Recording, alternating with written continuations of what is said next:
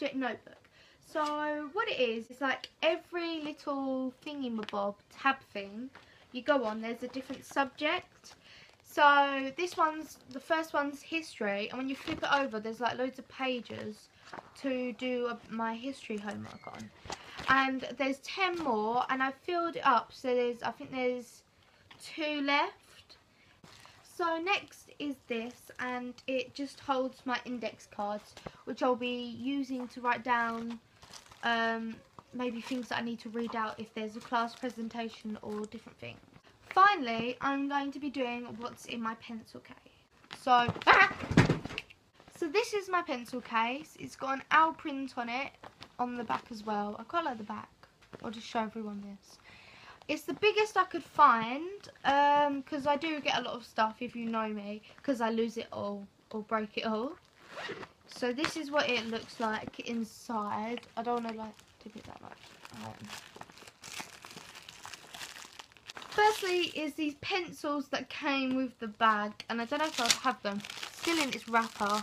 It's just got all different colours so might as well. The next I'm just going to bring out all my pens. I need to get another like load. I just have some like random pens from my old pencil case. That one's the new one. Uh, then I got this highlighter. This is like from my old pencil case. Um, then another pen I got. I got this, um, this is no, and it has princess in the middle and it's like a watery.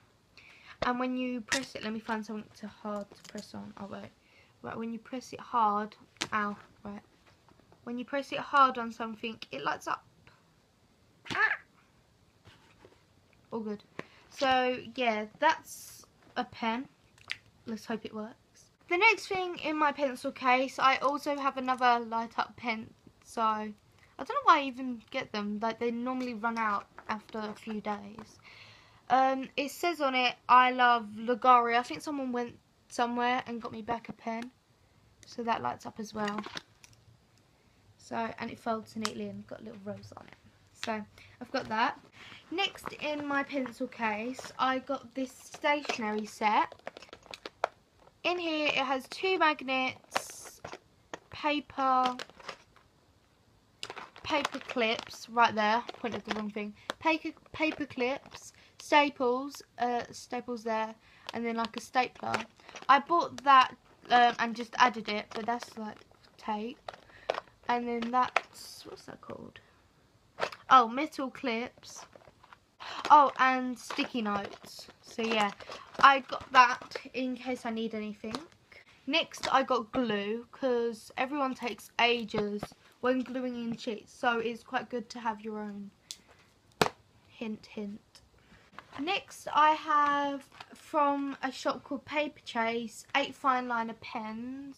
So next I have a geometry set and it's just got the like um, rubbers uh, and a pencil there and a sharpener and also a protractor and just all the little bits that I might need for maths. Next, um, I got this thing, I don't know when I got it, um, but it's called a spell checker and it's really good for English when you don't want to keep on like asking the teacher, what's that sir?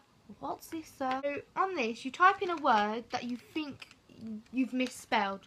So I'll type in a misspelling. So um, I'll do from and then just add a Q on the end. So I've wrote from with a Q on the end. You can see the Q right there.